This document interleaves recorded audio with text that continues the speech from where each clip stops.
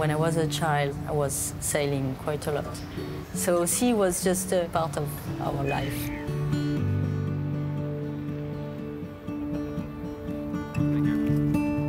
Feels good to be on board again. I like this uh, little uh, microcosm, uh, this little world.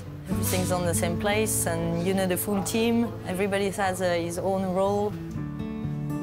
So this project uh, consists in uh, the installation of uh, three wind turbines. Uh, each floater is being uh, anchored uh, using three mooring lines. Viana do Castelo in Portugal. It is exciting because there has been quite a long preparation, and then suddenly everything is to happen on this moment. Bourbon is in charge of the procurement and the installation of the mooring equipment and the installation of the electrical cable and the floating wind turbine. And it's my job to get everybody's nose in the same direction.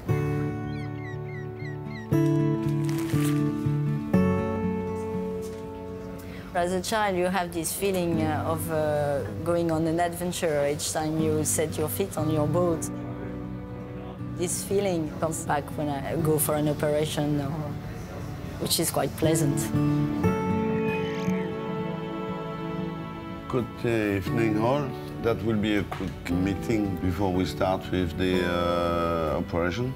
The installation of wind farm is very new. We are now at the pre-commercial stage. The next phase being the commercial phase where you would install a full farm with 40 to 50 floaters. I really enjoy that we have to make up this new procedure to install those uh, equipment that have not been installed before.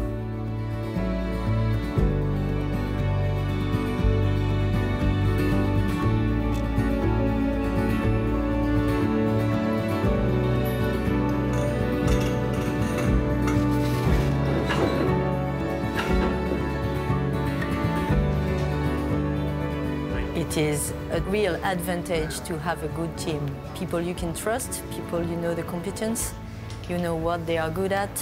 It's essential.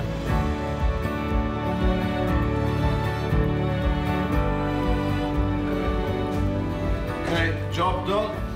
Tension complete. Excellent.